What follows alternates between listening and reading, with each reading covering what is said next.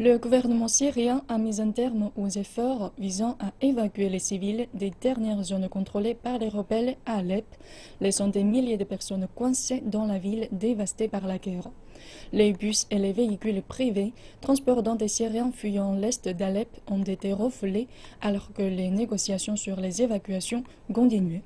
Un responsable syrien a déclaré que le processus reprendrait si les rebelles permettaient aux blessés d'être évacués des villages chiites d'Al-Foua et Kevraya qui sont toujours assiégés. Par ailleurs, des médias contrôlés par les rebelles ont diffusé une vidéo de civils syriens qui ont réussi à quitter Alep.